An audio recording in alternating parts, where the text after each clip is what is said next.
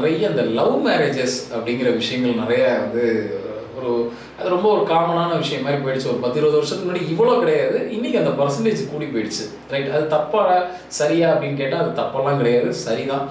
ஏன்னா அது ஏற்கனவே நான் சொன்ன மாதிரி அது சொர்க்கத்தில் நிச்சயிக்கப்பட்டதுங்கிறதுனால ஏற்கனவே அது பிரபஞ்சம் முடிவு பண்ணிருச்சு. இன்னாருக்கு இவரை தான் கல்யாணம் பண்ணி வைக்கணுங்கிறத பிரபஞ்சம் முடிவு பண்ணியாச்சு. அப்போது அந்த மாதிரியான காதல் திருமணம் நடக்குது.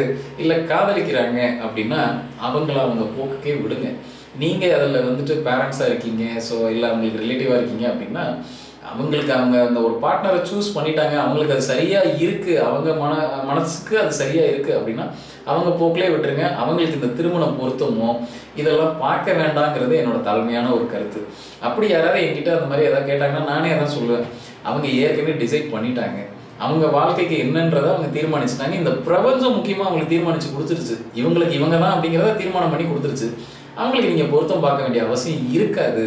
அதனால் அவங்கெல்லாம் பார்த்தீங்க அப்படின்னா கண்ணை மூடிட்டு கல்யாணங்கிற விஷயத்துக்கு நீங்கள் மூவ் பண்ணி போகலாம்.